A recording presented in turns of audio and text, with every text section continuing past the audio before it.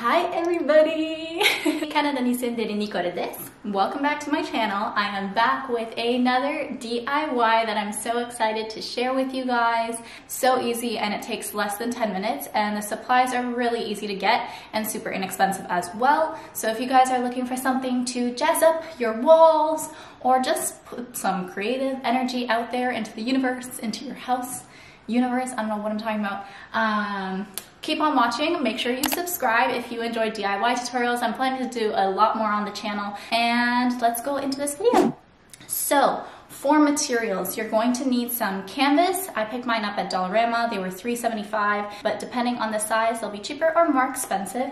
Also, you're gonna be needing some painter's tape to block off the border. Um, if you don't wanna do this, totally up to you, but it does help to have the painter's tape to have a clean edge. So if you decide to do that, you'll need some of that as well. And the main component of this is plaster. So mine, I think it's called Joint Compound, um, but it's very inexpensive. You can pick it up at any home hardware store. And that is it. For tools, you can just use whatever you have lying around your house.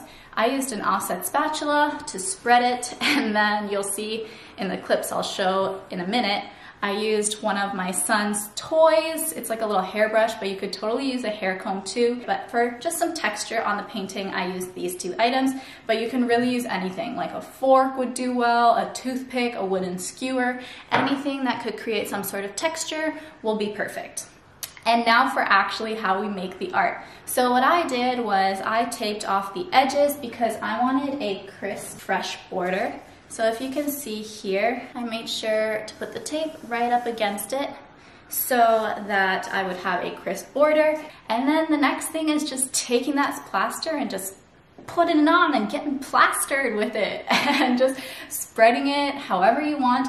I looked up some inspo on like Pinterest and stuff, but I ended up just kind of going with the flow and just doing whatever I wanted.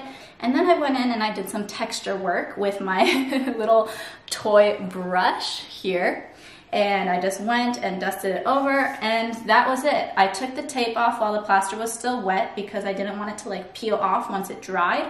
So I do recommend doing that. I had no problems.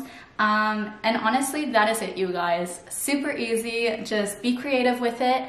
The only note that I have is I think I wish I did a thicker layer of plaster. I was a little worried because the canvas started to droop from the weight, so I was like, oh my gosh, it's gonna rip, and I got scared. So I was a little light-handed, but now like when I see the art in the sun, there are some bald patches. So just go with maybe a heavier hand. Don't be too scared of the plaster. It's really easy to work with. It's super fun. It's like it's like a mud. It's basically like working with mud. And then this one here, my fiance Luis did, and I actually love how his turned out. It is absolutely gorgeous. He went definitely with a heavier hand, and he called this work of art frustration because he couldn't figure out what he wanted to do with it, but I honestly think it turned out super luxe and super gorgeous. He has a knack for being good at everything, so it looks really, really nice. Um, but what I think he did was he made the texture marks first. So he put a big thick layer of plaster, which I totally recommend. And then he went with the hairbrush and made a whole bunch of texture at the back. So you see like these little texture marks running through the piece. Um, and then he went with the offset spatula and flattened out bits and parts that he wanted. And then it came out like this, but I think his just looks so much better because the plaster is a lot thicker. So definitely go with a thicker plaster unless you like the light look. I like how mine turned out too, but this one just looks more expensive. So I do recommend going with a heavier hand and then just playing around with it. It took him a little while to get what he wanted, but Guys, this looks so awesome. I'm so happy with how they turned out. Depending on how daring I feel, I may go ahead and try a DIY floating canvas frame. I saw a tutorial and that one requires a lot more tools and sawing, so I wasn't ready to tackle it quite yet. But if I do feel up to it and if you guys do want to see a tutorial on it, I will try for you. Um, but this is how they turned out and I'm so happy and so excited. I think these pieces you can really use anywhere. The white is very easy to work with and honestly I'm just very happy with how they turned out.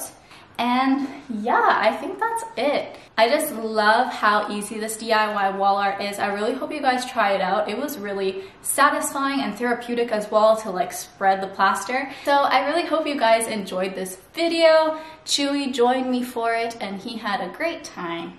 Right, Chewy? Debatable. but I hope you guys enjoyed this video. Make sure you give it a thumbs up if you like this DIY stuff. I love doing it for you, so let me know. And I hope you guys have a wonderful week. I will talk to you all very soon. Bye.